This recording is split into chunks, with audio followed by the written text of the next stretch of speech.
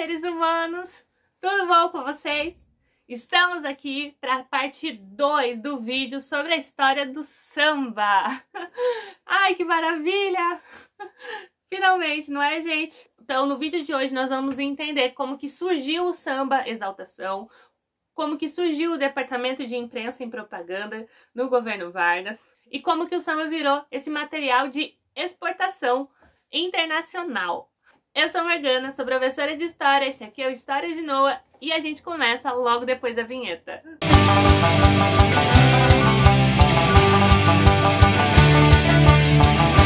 Então vamos lá, gente. Essa aqui é a parte 2 do vídeo da semana passada. Caso você não tenha visto, é muito importante que você veja, para que você entenda como que isso aqui que a gente vai falar no vídeo de hoje, como que toda essa história teve início tá bom? E é super legal, também tem bastante música.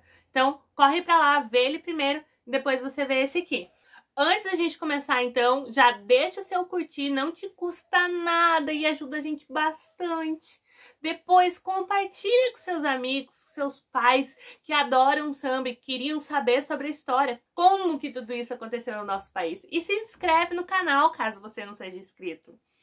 O vídeo da semana passada, então, nós falamos sobre o samba malandro. Como que o samba malandro era um samba basicamente de instrumentos de percussão, que era muito característico do homem negro, que vinha falando desse cara boêmio que não gostava de trabalhar, que não valorizava o trabalho, que sempre estava apaixonado por uma mulher fatal, que era morador de favela, e como que a elite artística do Brasil começa a se apropriar do samba, olhar como algo que pode se tornar identidade brasileira, identidade cultural brasileira, ele vai precisar ser branqueado um pouquinho. E para isso, então, eles vão pegar essa figura do malandro, que era muito bem conhecido na época, e vão tornar ele uma pessoa diferente. Então, nas suas letras agora, esse malandro vai começar como um homem trabalhador, um homem que gosta de ser morador de favela, um homem que é casado com uma única mulher, que é sua companheira, que ele valoriza essa mulher, e um homem que vai estar sempre bem apresentado, de terno, gravata e cartola, que é o grande símbolo dos sambistas até hoje, né? Aquela camisetinha listrada com aquele terno branco e aquela cartolinha. Fazendo isso com o samba, então, construindo essa nova imagem do que é ser malandro, eles vão começar a perceber que Ok, estamos tentando reprimir o carnaval há séculos, literalmente, e não tá dando certo. Então vamos tornar ele algo oficial? Vamos dizer que pode, mas vamos controlar. Controlar como? Através do governo. Então, principalmente no Rio de Janeiro, vai se começar a criar leis para organizar o carnaval.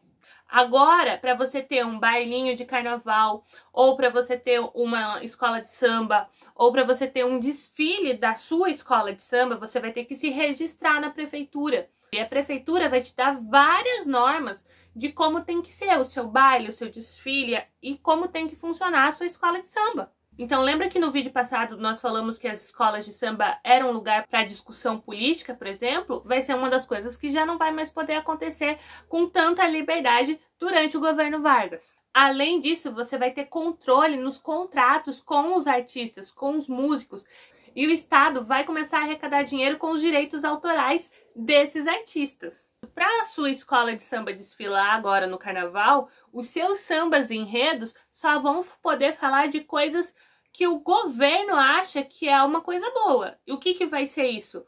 Vão ter que sempre ser sambas que exaltem a nossa nacionalidade. Se não exaltar a nacionalidade, não pode desfilar, tá bom, gente? Vamos deixar isso bem claro. Então você vai ter que exaltar temas nacionais, personagens históricos, que obviamente o governo aprova, né? Você não vai poder contar a história de um personagem que eles não gostem como também você vai ter que falar dessa imagem desse homem trabalhador.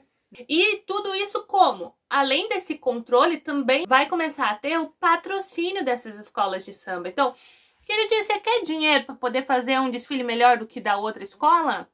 Então, você vai ter que fazer do jeito que eu quero. Tô dando dinheiro, tô pagando. Então você faz do jeito que eu quero. Além disso, já em 32, dois aninhos depois que Vargas entra no governo, os desfiles de escola de samba se tornam concursos. Porque se se torna concurso, você coloca mais regras. E quem vence o concurso? Quem segue mais regras. Então você começa o quê? Esse controle, esse branqueamento e essa elitização dessa festa, que era uma festa nacional, que era uma festa popular, e ela vai se tornar então uma festa controlada, elitizada e direcionada pelo governo. Nos primeiros anos do governo Vargas, isso vai ser feito pelo órgão público, mas com o tempo Vargas vai perceber a necessidade de você ter um ministério separado só para fazer isso. Que ministério vai ser esse? O DIP. DIP, que significa Departamento de Imprensa e Propaganda. E ele vai ser responsável pelo quê? Por censura e controle das mídias. Que mídias? Imprensa, cinema, teatro, música, que vai estar envolvendo rádio, tanto isso tantos, eu ia dizer CDs, tantos LPs, ai gente, nem sei. Qual era o nome disso, gente? Tantas gravações de estúdio quanto o que ia para as rádios. E através de todas esses, dessas mídias, teatro, cinema, TV, rádio, o DIP ia propagar os ideais do governo. Então, esse vai ser o momento no Brasil que a rádio vai dar aquele grande boom ela vai se tornar uma grande mídia de massa mesmo, porque o governo Vargas ele vai incentivar e vai levar o sistema de rádio para os interiores, porque era a forma dele falar com a população comum. Era uma forma mais barata dele falar com a população comum. A partir desse momento, é, você vai ter o DIP agindo fortemente na repressão das letras de músicas. Estamos voltando para o samba. Ou seja, samba malandro não vai mais poder ser gravado. Você pegou uma letra ali e não tá de acordo, ou você muda ou você não grava. Simples assim. Eu tenho dados aqui, por exemplo, do ano de 1943. Em 1943, 27.396 programas de rádio e 5.678 músicas foram analisadas pelo DIP, passaram pelo crivo para ver se podia ou não ir por ar. Então, assim, era um controle muito bem feitinho. Tudo passava pelo pente fino deles, para garantir que a ideologia do governo chegasse a toda a população. E por que isso vai ser feito? Porque ao mesmo tempo que você tem essa nova ideologia, essa propaganda do governo com um novo malandro, você vai ter um movimento é, de retórica muito forte. Então você vai ter esses novos sambas desse novo malandro surgindo e aí você vai ter gente olhando para eles falando: "Como assim?" E vão começar a lançar sambas rebatendo isso. E um samba muito legal que eu gosto é o samba é, do é o samba, eu não esqueci de colocar o nome aqui, mas eu vou colocar escrito aqui para vocês do lado, que é o Caixa Econômica. Eu vou deixar esses senhores cantando aqui para vocês pegarem o ritmo. E aí eu já falo a letra para vocês. Você quer comprar o seu sossego, vivendo morrer. Mais ou menos esse ritmo assim, ó. Você quer comprar o meu sossego, me vendo morrer num emprego, pra depois gozar. Essa vida é muito cômica. Eu não sou caixa econômica, que tem juros a ganhar. ah, Senhor amado. Vamos só ler. Então diz assim, ó. É, você diz que eu sou moleque, porque não vou trabalhar. Eu não sou livro de cheque para você me descontar. Você vive tranquila, sempre fazendo chique, sempre na primeira fila, me fazendo de guichê. E você quer comprar o quê, hein? Então ele tá falando, esse ideal de trabalhador tá vindo lá da elite que não trabalha. Tá vindo lá daquela elite que quer que eu trabalhe para ele ganhar mais dinheiro, para ele sentar na primeira fila enquanto eu tô trabalhando. Então, por que que eu vou trabalhar? E aí ele vai dizer: "Meu avô morreu na luta. O meu pai, pobre coitado, fastigou-se na labuta. Por isso eu nasci cansado." E para falar com justiça, eu declaro aos empregados terem em mim esta preguiça herança de antepassados. Gente, percebe a crítica política e ideológica nessa música. Ele tá falando, cara, meus pais foram escravos. Eles já foram explorados um monte. Eu já nasci sabendo que é exploração. Eu já nasci sabendo o que é um trabalho forçado. Eu já nasci sabendo que não vou ter nenhum tipo de recompensa da elite. Por que, que eu vou cair nesse novo discurso?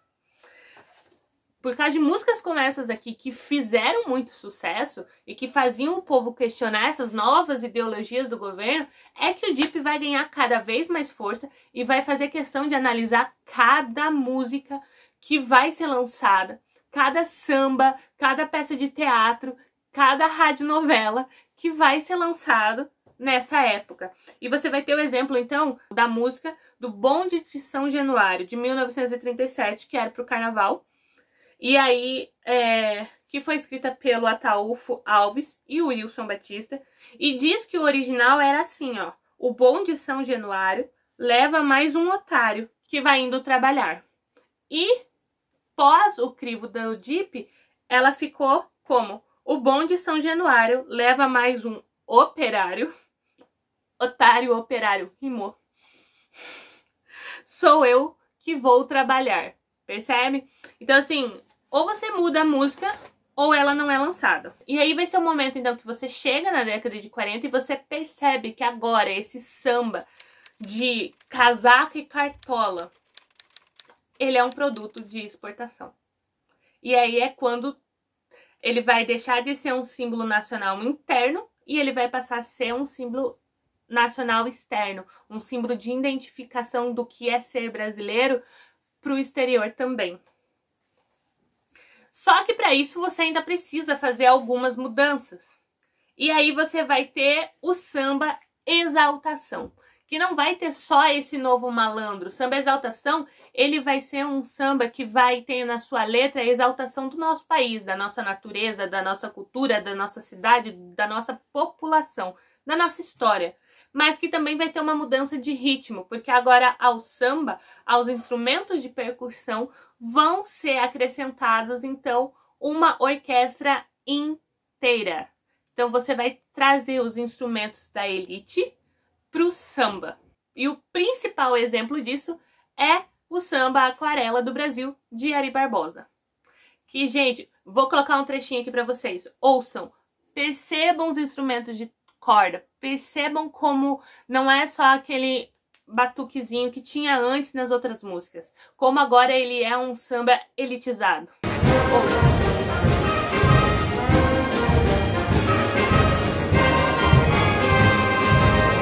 Ok? Deu pra entender? Então você vai ter Carmen Miranda surgindo nessa época com Tico Tico no Fubá, que também vai ser acompanhado de orquestra. Você vai ter em 35 uh, o programa Hora do Brasil. O programa Hora do Brasil era um programa de rádio que passava das 8 horas da noite às 9 horas da noite. Era transmitido para todo o Brasil e era um momento onde você tinha discursos nacionalistas, aonde você tinha discursos do nosso presidente, aonde você tinha música e onde você tinha vários outros tipos de programas, outras coisas que aconteciam é, dentro desse programa de entretenimento que passavam essa ideologia do governo Vargas para a população brasileira. E é claro que esse programa vai virar também material de exportação do nosso governo. Então você vai ter, é, em 39, por exemplo, ele sendo transmitido em Buenos Aires, Argentina. Você vai ter, em 1936, ele sendo transmitido para a Alemanha, direto do Morro da Mangueira. Sim, em 36 você tinha é, uma política varguista que se identificava muito com a política nazista de Hitler na Alemanha. Então, sim, esse programa chegou a ser transmitido lá. Como também em 43, quando o Brasil já está em negociações com os Estados Unidos, você vai ter esse programa sendo patrocinado pela Coca-Cola, porque a Coca-Cola estava para chegar ao Brasil. E é, foi nesse programa, então, que ela começou a dizer quem ela era, qual era o seu produto e que ela estava chegando direto para casa dos brasileiros, para conquistar os nossos coraçõezinhos. E não tem como você falar de samba exaltação sem você falar de controle, sem você falar de repressão, sem você falar de racismo. Então, nesse texto aqui, que é um que eu vou ler para vocês, ele é um trecho de um texto escrito por um crítico de música Pedro Anísio era o nome dele, para o Boletim de Serviços de Transmissão da Rádio Nacional, em 1943. E ele diz assim, ó: o samba vestia-se pela figura humilde dos regionais simplórios. Flauta e cavaquinho e violão, das serestas dos bairros pacíficos ou pelo porte das escolas. Coro, tamborim, pandeiro e cuicas. Ari Barroso, que é o escritor da Aquarela do Brasil, que é aquela música que vocês acabaram de ouvir, começou a vestir o samba, tirando-o da esquina e dos terreiros, para levá-lo ao municipal, Teatro Municipal do Rio de Janeiro, gente. Ari Barroso vestiu a primeira casaca no samba. O samba ganhou o smoking da orquestra. Agora, o samba já possui o seu lugar definitivo entre as músicas populares dos povos civilizados, dignos e elegantes.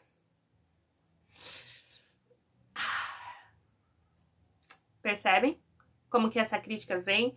Tipo, antes ele era coisa de preto, então ele tinha aquele instrumento de o cavaquinho, tava no terreiro. Agora não, agora ele tá no municipal, ele tem instrumento de corda, agora ele veste casaca, smoking, gravata, cartola. Agora ele é de alguém civilizado, digno e elegante. E obviamente que é esse samba que vai ser exportado. Por quê? Porque na década de 40 o Brasil está em negociação com os Estados Unidos, que está buscando uma política, tem o nome da política da boa vizinhança, que ele está tentando se aproximar dos países da América Latina para impedir que eles tenham essa aproximação com o governo nazista e tentando fazer com que o Brasil entre na guerra contra, o eixo do lado dos aliados. Então você vai ter essa aproximação principalmente cultural. Então você vai ter Vargas viajando para encontrar presidentes de outros países e levando com ele músicos como Carmen Miranda, Ari Barroso e essas orquestras que iam apresentar o samba. E vai ser essa apresentação da nossa população bem estigmatizada, né? Se você pensar na Carmen Miranda, que, que foi uma artista extremamente popular nos Estados Unidos, cantou na Broadway e tudo, essa mulher que samba, que é sexy, que tem as frutas na cabeça, né? Tipo, bem tropical mesmo e bem diferente do que era a nossa população normal aqui. Mas é esse produto que vai ser vendido e essa, é, e essa ideologia que a gente tem até hoje, que o exterior tem do, do brasileiro até hoje. Você vai ter em 1941 a visita do Walt Disney ao Brasil, onde ele vai vir conhecer, claro que direcionada por Roosevelt, e porque ele vai criar um filme que vai se chamar Salu Amigos, e o e o Aquarela do Brasil, que vão ser lançados nos Estados Unidos, aonde o Pato Donald vai vir conhecer o Brasil. E eu gosto bastante de trabalhar esse filme em sala de aula, porque você consegue perceber muito dessa ideologia, desse discurso de Vargas nesse filme. Então, eu vou deixar alguns trechinhos rolando aqui. Você vai ter o Zé Carioca, que é esse personagem que vai ser. É, que é esse papagaio, que é brasileiro, que vai conhecer o Pato Donald. Quando ele conhece o Pato Donald, ele abraça o Pato Donald, beija o Pato Donald, é, mostrando essa imagem calorosa do brasileiro. Você vai ter a questão da música. Então, o, o Zé Carioca ele vai fazer música com, com caixinha de fósforo, com guarda-chuva, qualquer coisa que ele toca sai música. E ele é muito divertido, e ele é muito expansivo, e você tem no desenho muitas cores, muita alegria, muita mata ao mesmo tempo que você tem a apresentação do Rio de Janeiro como uma cidade industrializada. Então, você vai ter ele falando, por exemplo, vários bairros, Urca. Olha como eu conheço bairros do Rio de Janeiro. Ele vai falar vários bairros do Rio de Janeiro, que é para mostrar que sim, eles já são industrializados. Você vai ter a questão da cachaça, então, é, desse boêmio é, bebendo. E, óbvio, o Zé Carioca vai estar de terno, gravata e que era o símbolo do sambista que o governo tentava propagar. No filme também vai aparecer a Carmen Miranda, que era uma música, é, que era uma cantora muito conhecida na época.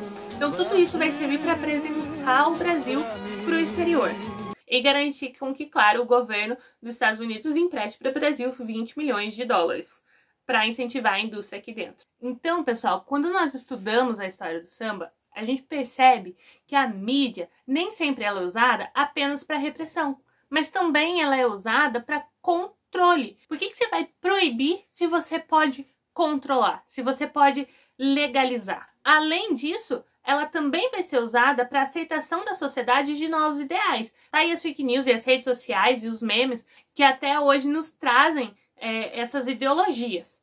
Então, essa criação dessa nova modalidade de samba no nosso país, ela vai trazer isso, ela vai trazer esses novos imaginários, essas novas construções sociais do que é ser brasileiro, do que é ser trabalhador, do que é ser cidadão, do que é ser uma boa pessoa e do que são esses símbolos nacionais, do que, que é um bom samba, do que é um bom carnaval, do que, que pode ou não ser é, usado como representação da nossa nacionalidade. Isso é extremamente importante. A mídia é uma arma que sempre foi utilizada pelos governos para é, controle da população e repressão, sim, mas a partir de Vargas ela vai é, ganhar um novo ápice, porque vai, vai ser uma mídia agora que vai chegar para a grande massa de uma forma é, muito mais efetiva. Mas precisamos abrir um adendo aqui, gente. Só porque o governo tem essa mensagem e cria mecanismos para que essa mensagem chegue ao maior número de pessoas possíveis,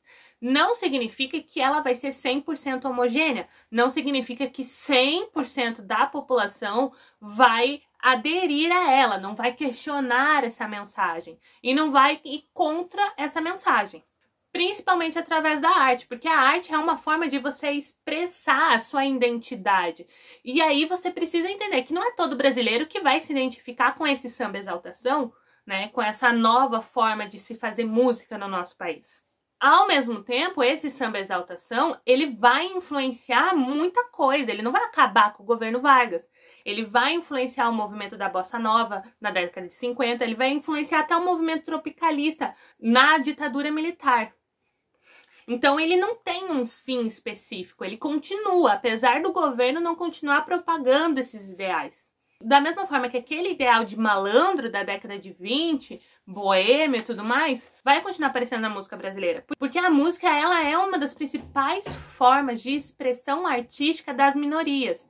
E a gente vê isso até hoje. E nem sempre ela é a música mais vendida de todas.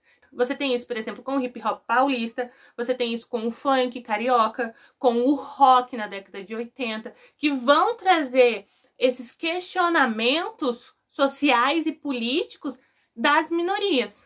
Então, a gente precisa entender, você vai ter esse discurso que vai ser aprovado pelo governo e que vai ser propagado pelas grandes massas, mas não significa que o discurso contrário, que vai rebater, que vai questionar esse discurso oficial, ele também não chegue, mas ele vai chegar de outras formas, ele não vai chegar pela mídia oficial. Então, se você pensar na época, na década de 30, você pode pensar que esse samba malandro, ele continuou sendo cantado e propagado nas rodas de samba, na música ao vivo, em clubes e em bares. Da mesma forma que você vai ter lá na ditadura militar da década de 70, 60, 70 e 80, você vai ter essa música que vinha questionando a ditadura militar, que não vai ser tocada nas rádios, mas que vai ser conhecida pela população geral. Por quê? Porque você vai ter as fitas que eram gravadas em casa e que você espalhava para todo mundo. Então você não necessariamente precisa da gravadora. É claro que é, era de uma forma bem menor do que é feito hoje, porque hoje a gente tem internet, uma forma bem mais fácil de se compartilhar coisas, mas ainda era feito de modos específicos naquela época também. E isso é super interessante, porque você vê esse imaginário que foi construído lá na década de 20 e 30, ele vai passando as décadas e ele vai chegando com novas identidades no futuro. O que, que é malandro para você hoje? Por exemplo, você vai ter uma música lançada em 1978 pelo Chico Buarque, que é extremamente conhecida, que se chama Homenagem ao Malandro. Que malandro? Esse malandro da década de 20. Da gravata, da cartola, boêmio. Só que vai vir com essa nova releitura, agora com uma releitura de crítica ao novo sistema, que era a ditadura militar na época. E ele vai dizer assim, ó. Eu vou deixar o ritmo aqui, vocês já conhecem fazer um samba em homenagem e eu vou cantar pra vocês. Da... Eu fui fazer um samba em homenagem a Nata. tá bom, agora vamos ler. Eu fui fazer um samba em homenagem à Nata da Malandragem, que eu conheço de outros carnavais. Eu fui a Lapa e perdi a viagem. Que aquela tal malandragem já não existe mais. Então, Chico Buarque vai definir o que é malandro na década de 70 agora. E ele vai dizer assim: Agora já não é normal. O que dá de malandro regular profissional. Ou seja, malandro agora trabalha. Malandro com aparato de malandro oficial. Malandro candidato a malandro federal. Malandro com retrato na coluna social. Malandro com contrato com gravata e capital, que nunca se dá mal.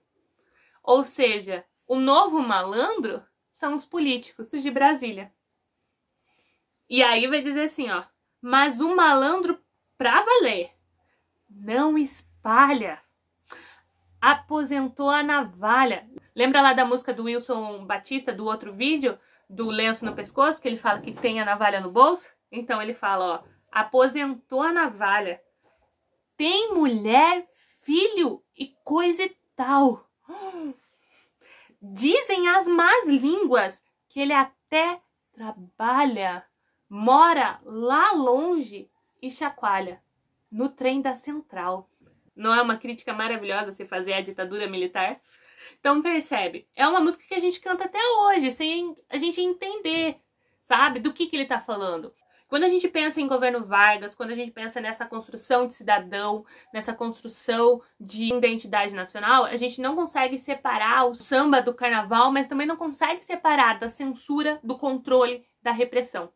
Porque o governo Vargas foi sim um governo muito autoritário, foi um ditador populista, mais ditador, aonde você teve milhares de pessoas sendo torturadas durante o governo dele, aonde você precisava desse controle, porque ele passou 15 anos direto numa administração dentro do nosso país sem ser eleito pelo povo, através de um golpe de Estado.